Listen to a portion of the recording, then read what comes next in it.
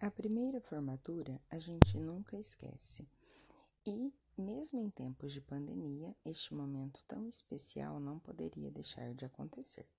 A escola Acalanto Educação Infantil de Apucarana pensou em todos os detalhes, álcool em gel e caprichou em uma cerimônia ao ar livre, para que possamos ter contato com a natureza e o ar puro, todas as precauções e cuidados devido ao coronavírus o tapete vermelho, onde as crianças irão caminhando e sentindo a emoção deste dia tão especial.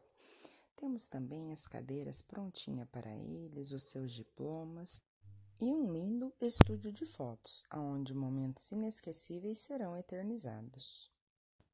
Espero que você tenha gostado e se inspire nessa linda decoração. Se inscreva no nosso canal e nos deixe muitos joinhas.